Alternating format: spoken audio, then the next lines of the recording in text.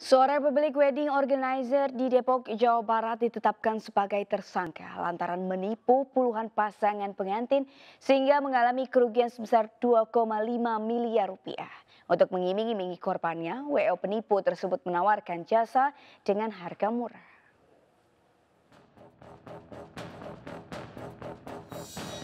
Setelah usai menjalani proses pemeriksaan di Satreskrim Poresto Depok, pemilik WO Bodong atas nama Anwar saat ini telah ditetapkan sebagai tersangka oleh pihak kepolisian. Diketahui sebelumnya, beberapa korban penipuan WO Bodong tersebut melaporkan kejadian ini ke pihak kepolisian. Seperti halnya korban bernama Isnaini yang telah melangsungkan pernikahannya pada 2 Februari lalu tampak terlihat dalam unggahan video korban saat resepsi tidak adanya hidangan makanan untuk para tamu.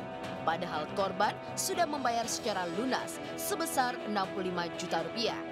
Tanggal 7 saya didandani lagi untuk resepsi, hampir mau selesai acara jam 7, cateringnya belum datang juga, dekor juga nggak ada.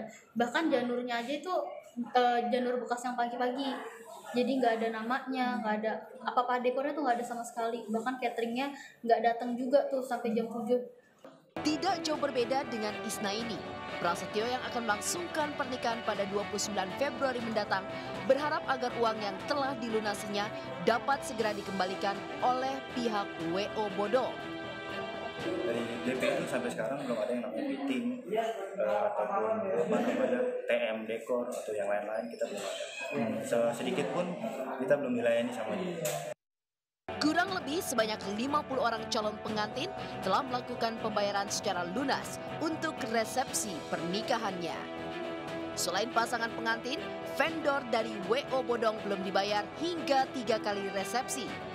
Tidak hanya itu, pihaknya sudah dua tahun kerjasama dengan WO Pandamanda dan setahun terakhir ini pembayaran selalu terjadi keterlambatan.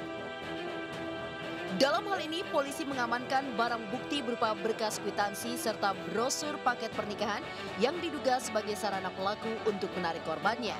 Kita mengambil tindakan tegas, lakukan upaya paksa, kita periksa yang bersangkutan dan kita tetapkan selaku tersangka penipuan.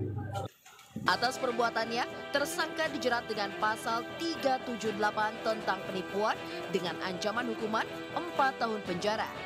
Dari Depok, Jawa Barat, Yung Rizky, iNews melaporkan.